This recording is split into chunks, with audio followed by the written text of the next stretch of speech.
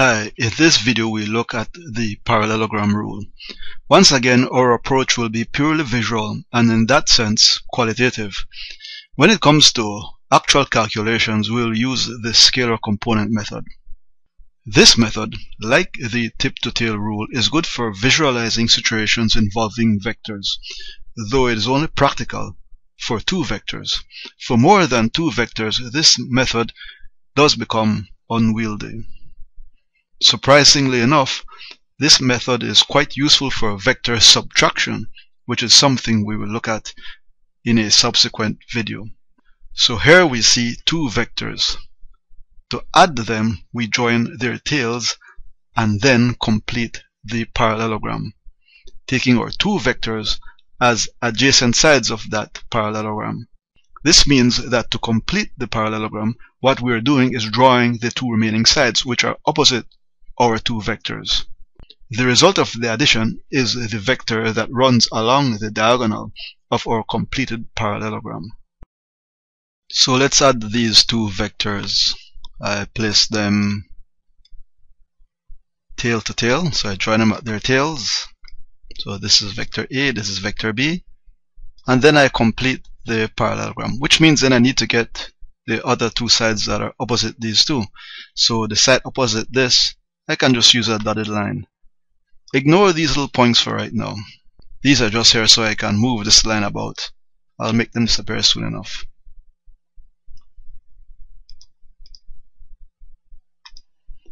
Right, so this line is opposite this one and then I need a, a line opposite this one so I have another point here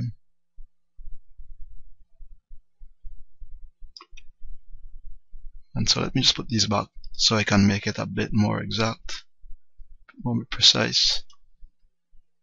Then I can get rid of these points.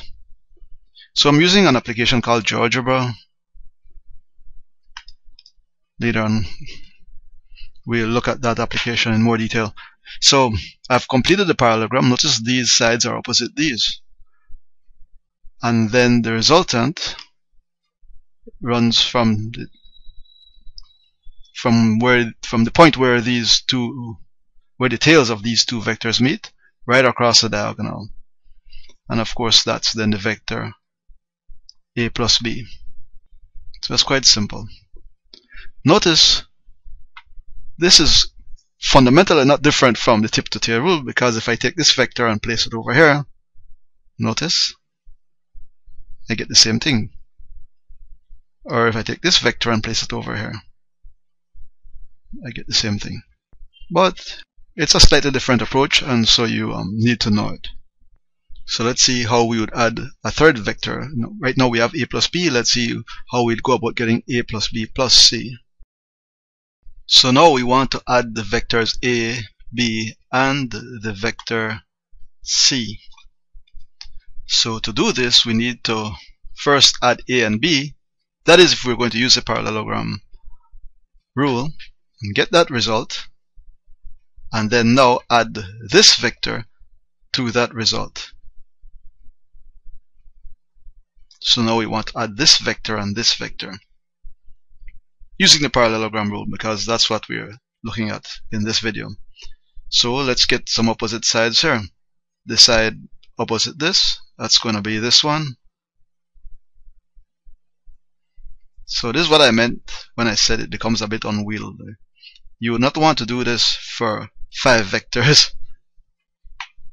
And then the side opposite this would then become let's say this one right here. Alright there it is. So let's take a good look at this. This is a plus b giving me this and now I'm adding this to this. So I hope the fact that I've used different colors helps. And then of course the diagonal runs from let me get rid of these little points. I don't need them. I only use them to move the vectors, the sides around. Later on, when you learn to use GeoGebra, you'll understand what I'm doing here. So the resultant is the diagonal that runs across this. So that's,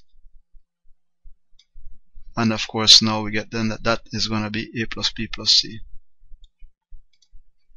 Imagine if we wanted to add a fourth vector. This becomes ugly very quickly. So for visualization purposes, I find at least that the tip to tail rule is better, especially if you're dealing with more than two vectors. Where I find the the tail the parallelogram rule better is um or tail to tail I should say. Maybe I shouldn't say parallelogram. The tail to tail method better is when um, I have to do subtraction because then when you subtract a vector, let's suppose you want a minus b, well that's the same as adding a plus negative b. So you can just join a and b and well we'll see how we do that in a subsequent video. So let's just compare this quickly with tip to tail. Notice I wanted to add um, these three vectors using the tip to tail rule. Let me just get rid of these. Uh, just remember I need the points to move these. Let me just move this out of the way. So to add a plus b plus c using the tip to tail, look how fast and nice and neat.